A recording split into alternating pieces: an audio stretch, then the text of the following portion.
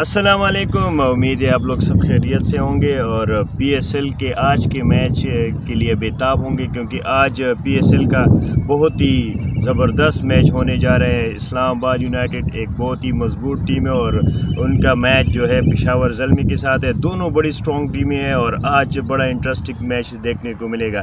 اس سے پہلے اسلام آباد یونائٹڈ ہار چکے ہیں میچ باون رن سے۔ اسی سے اس کے اندر تھوڑی سی وہ کانفیڈنس لیول کم ہوا، لیکن نو ڈاؤٹ ان کے پاس بڑے اچھے پلیئرز موجود ہیں اور حسن نواز اور سٹرلنگ اوپن پہ آتے ہیں۔ اس کے بعد جو ہے ڈوسن ہے، بڑی اچھی فارم میں ہے اور اس کے ساتھ دے مونرو۔ جیسے آپ لوگوں کو پتہ ہے کہ مونرو بڑی صاف ستھرا کھیلتے ہیں اور ان کی بیٹنگ ٹیکنیک اور اس کے شاٹ ڈیفینیٹلی تماشائیوں کے لیے بہت ایک انٹرٹینمنٹ ہوتی ہے اور بہت ایزی کھیلتے ہیں۔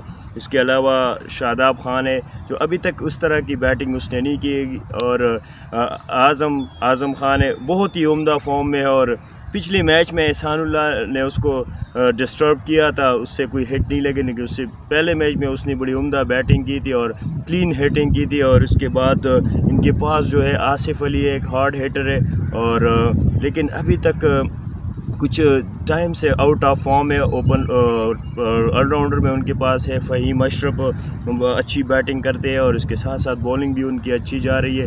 کرن ہے، کرن بھی no doubt is a very good all rounder fast bowling میں ان کے پاس اسٹرینتھ ہے، وسیم جونیئر اور رومان رئیس۔ رومان رئیس بڑی اچھی بولنگ کرتے ہیں نئی بال سے اور اسپننگ ڈپارٹمنٹ میں ان کے پاس ہے ابرار احمد اور شاداب خان۔ اس کے علاوہ پشاور زلمی کی سکواڈ بھی بڑی زبردست سکواڈ ہے۔ پچھلے میچ میں وہ تین تین رن سے جیتے ہیں، کوئٹہ گلیڈیٹر سے۔ تھوڑا سا لو سکورنگ گیم تھا ون ففٹی سیون رن بنائے تھے اور ایک سو چون رن پہ آؤٹ کیا تھا کوئٹہ گلیڈیٹر کو اور تین رن سے جیتے۔ کلوز میچ ہوا۔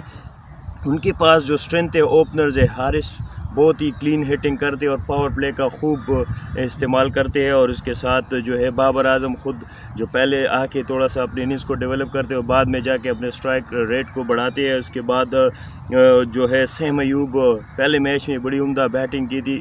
پچھلے میچ میں انفارچونیٹلی آؤٹ ہو گئی پہلے بال پہ، لیکن he is a very good batsman اور پاکستان کی لیے ایک اچھا پروڈکٹ ثابت ہو سکتا ہے۔ اس کے بعد کیٹ مور نے پہلے میچ میں عمدہ بیٹنگ کی، بعد میں تھوڑا سا ابھی کلک نہیں کر پا رہے، لیکن no doubt he is a very good batsman اور پاول ایک ہارڈ ہیٹر ہے۔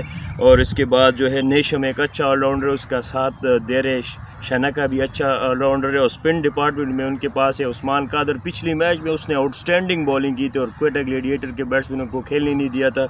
سفیان مقیم تھوڑا سا ان ایکسپیرینس ہے ینگسٹر ہے اور فاسٹ بولنگ میں ان کے پاس ہے، وہاب ریاض ہے اور اس کے ساتھ ساتھ جو ہے ارشد اقبال نے دیا تھا۔ ارشد اقبال نے بڑی عمدہ بولنگ کی تھی پہلے اسپل میں اور بعد میں تھوڑا سا ایکسپینسو رہے اور اسی طرح جو ہے، بڑی بیلنس سائڈز ہے، دونوں اور دیکھتے ہیں کہ آج کا میچ کون جیتے ہیں۔ تو آپ لوگ میرا یہ جو چینل ہے، اعظم کرکٹ ہب اس کو سبسکرائب کریں، دوستوں کے ساتھ شیئر کریں۔ کرکٹ کے حوالے سے کرکٹ کوچنگ کے حوالے سے آپ لوگوں کو یہاں سے کافی اچھی معلومات ملے گی۔ Thank you